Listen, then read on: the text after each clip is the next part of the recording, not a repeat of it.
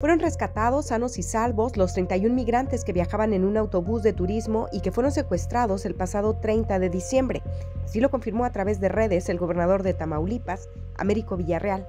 El rescate se habría logrado gracias al operativo interinstitucional, donde participó el Estado, la Guardia Nacional y las Fuerzas Armadas.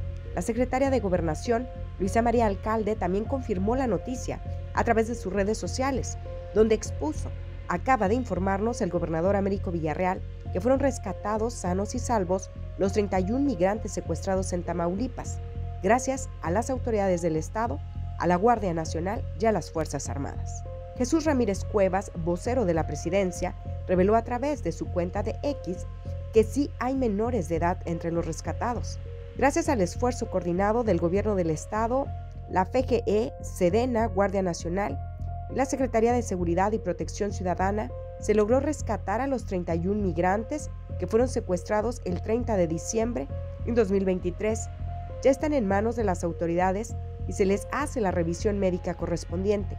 Las 31 personas en contexto de migración son de diversas nacionalidades, entre ellas Perú, Colombia, Venezuela y Honduras.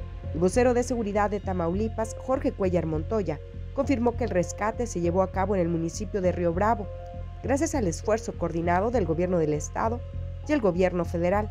Además, informó que entre las acciones que se llevaron a cabo para localizar a los migrantes está el seguimiento a los teléfonos de los migrantes secuestrados, el análisis de los videos que grabó el autobús y el seguimiento de las rutas donde se transportaban los migrantes. Con uno, Daisy Herrera.